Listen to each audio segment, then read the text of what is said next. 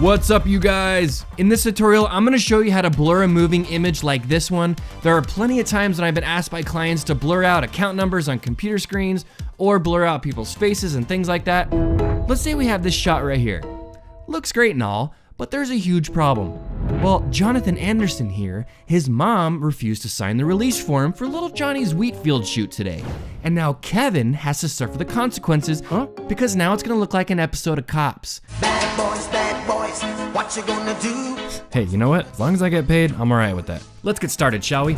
Once you have the layer in your timeline, click on it, go to animation, track camera. Now before this thing finishes, go down on your timeline, hit E to open up the 3D camera tracker, go in here, go into advanced, and turn on detailed analysis. I'm gonna click on render track points for now just so I can see the tracking points while I play this back. Because what I wanna do is I wanna find some tracking points that are constant, ones that stay on him the longest. And I'm gonna find a spot where three of these points live together, right there.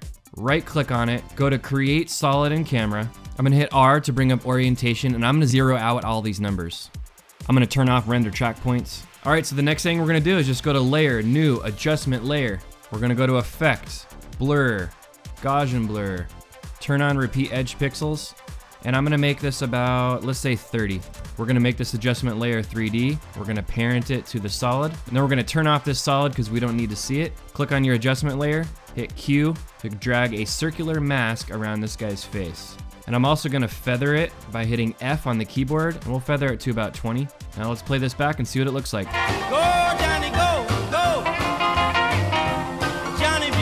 Cool, now Jonathan Anderson's mom is happy because his identity has been protected.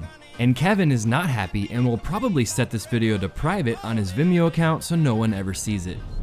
I hope you guys enjoyed this tutorial. Thank you so much for watching. You can of course use this technique for pretty much anything. If you wanna add a graphic to a shot, if you wanna blur social security numbers on a computer screen, or add things to your shot that weren't there before, this is how you do it. You can add comps, solid text, and a whole bunch of other stuff.